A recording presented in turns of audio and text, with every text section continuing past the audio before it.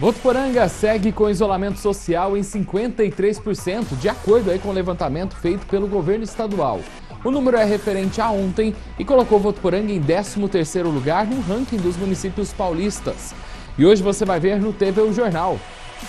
Secretaria de Esporte e Lazer de Votuporanga retoma aulas gratuitas de balé, judô, natação e hidroginástica. Frequência dos alunos é baixa, mas cuidados de higiene continuam sendo adotados e também estão abertas as inscrições para o Enem 2020. E esse ano tem novidades. E ainda você vai conhecer a história do Varal Solidário, que está ajudando muita gente em Votuporanga e foi criado por uma dona de casa aqui da cidade. Também vamos mostrar como você pode participar da campanha Votu Solidária. É agora!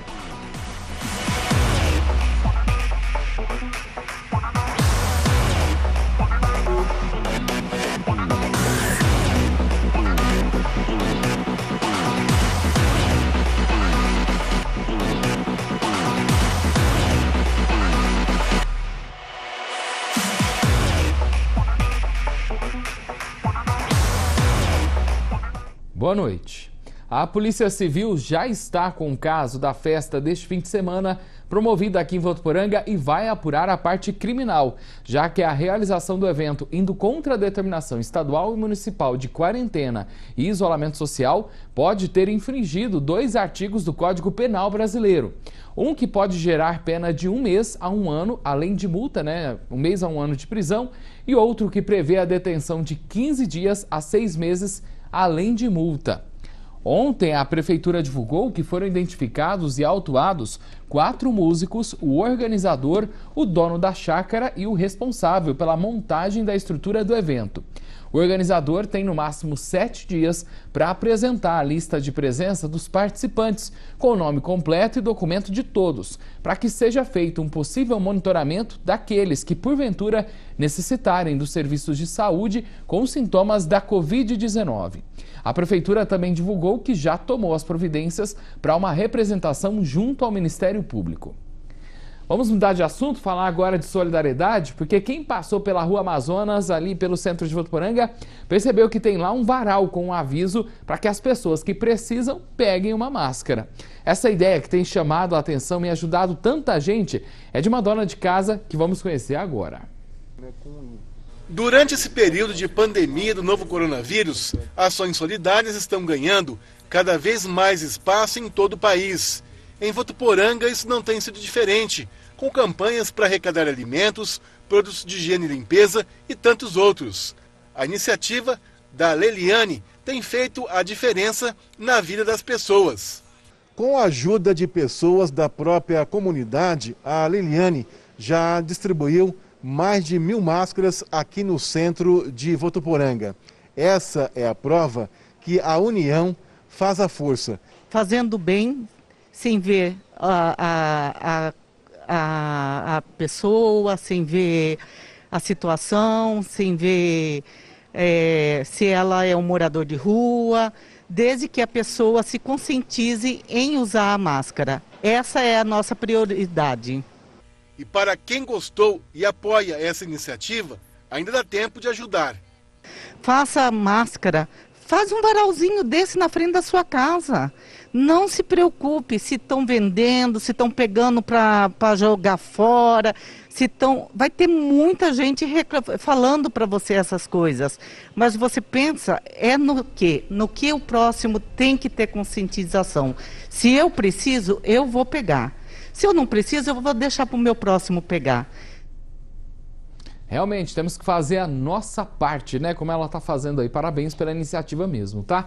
E continuamos falando de solidariedade, porque nesse momento em que nós estamos vivendo, tem sido difícil para todos, mas principalmente para quem está desempregado ou é autônomo e não está podendo trabalhar, viu a renda zerar, né?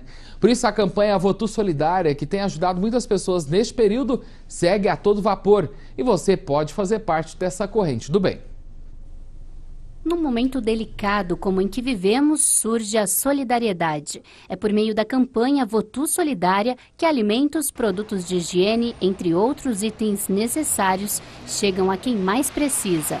Essa campanha da Votu Solidária tem auxiliado não somente o Lar Celina, mas todas as instituições de Votuporanga.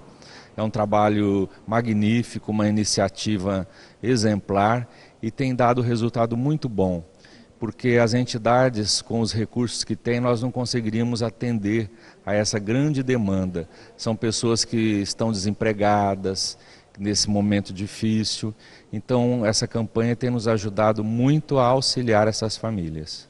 O objetivo dessa campanha é que a, gente demonstrar para a população de Votuporanga que tem pessoas com coração bom, com pessoas que queiram ajudar as pessoas que estão necessitando nesse momento tão difícil que a pandemia está causando em Votuporanga e fazer o bem sem olhar quem.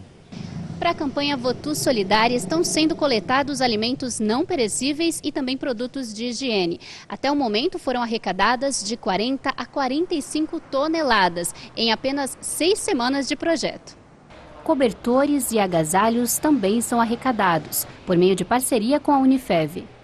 Bom, a arrecadação está sendo é, tudo de alimento não perecível, produtos de higiene, produtos de higiene pessoal, fraldas descartáveis, é, e agora uma campanha muito importante com a Unifev, eu fico feliz dessa campanha por, por ser colaborador da Unifev, é, junto com cobertores, nessa, nessa, entrando no frio né, que a gente vai começar agora. Então essa, essa parceria foi muito bem feita entre a campanha Voto Solidária e a Unifev.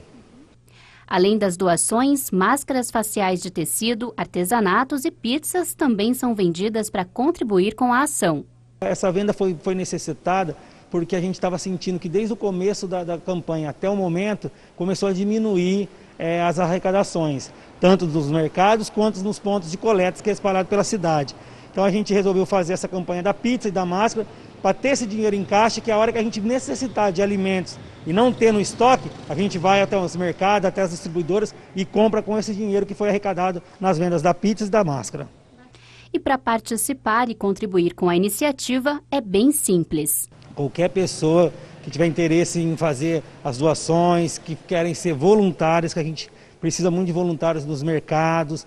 Quem quiser fazer parte dessa campanha, é só vir aqui na Realpec, falar com a Marilza, com o Emerson, que está de portas abertas para toda a sociedade. Eles estão ali na esquina né, da Pernambuco com a Tietê, então vai lá, viu? E tem um pessoal que está ficando nos supermercados também. Se você for comprar algo, passe por lá e doe, né? Ajude você também, tá? No próximo bloco vamos explicar como será o retorno das aulas de balé, judô, natação e hidroginástica. E também informações sobre as inscrições do Enem que estão abertas, viu? Até já!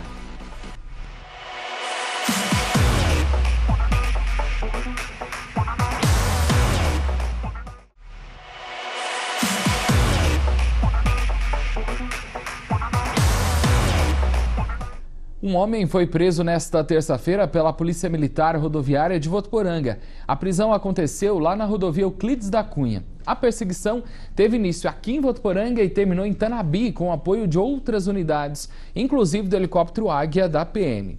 Ao ser interceptado perto de Tanabi, a polícia encontrou 360 quilos de maconha e 1 quilo de skunk. Ainda foram divulgados, ainda, perdão, não foram divulgados os detalhes de onde vinha e para onde ia essa droga.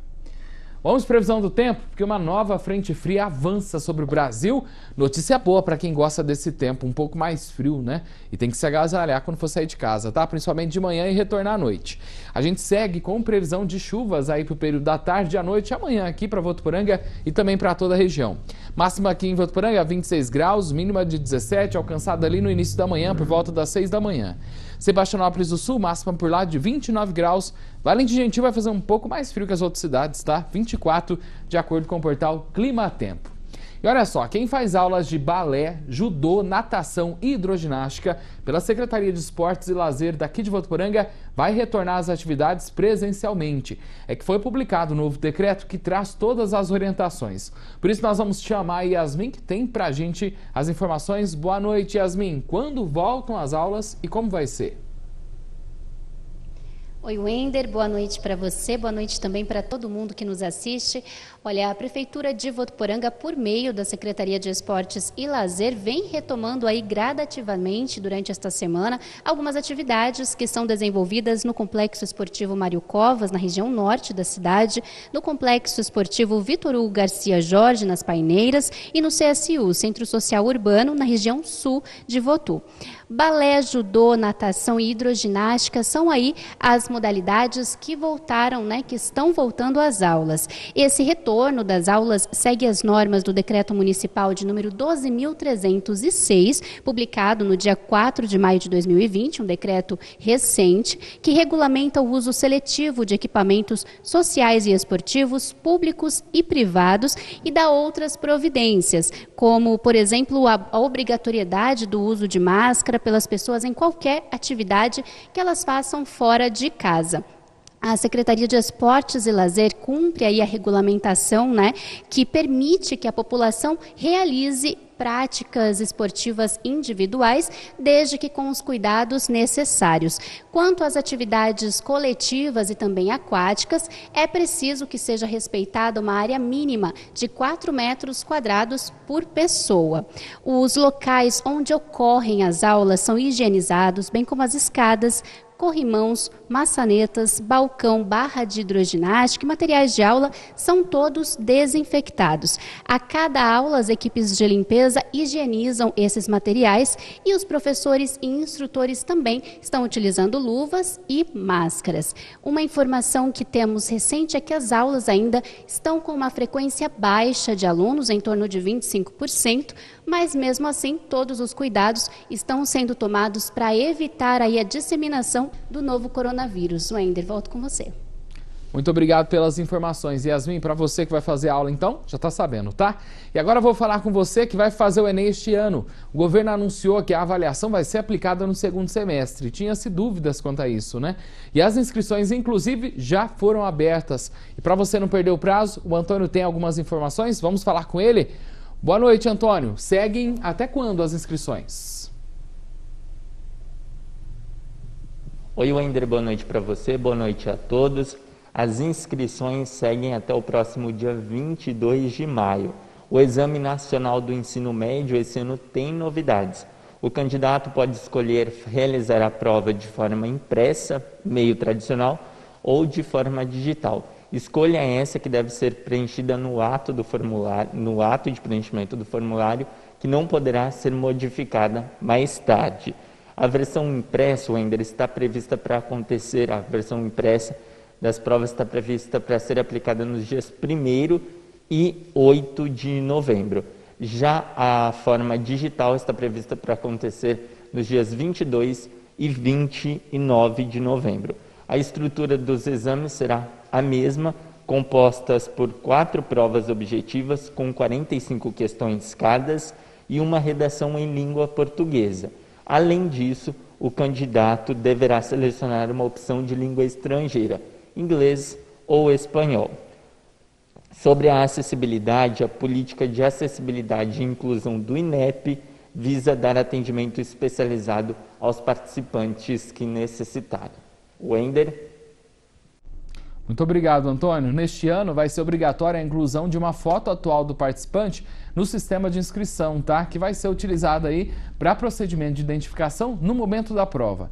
O valor da taxa de inscrição é de R$ 85,00 e precisa ser paga até o dia 28 de maio, então muita atenção a esse prazo, em 28 de maio, tá bom? Na nossa página no Facebook você pode rever todas as notícias do TV o Jornal. Vai lá. O endereço é facebook.com/barra rádio e TV Unifev. Até amanhã. Tchau, tchau.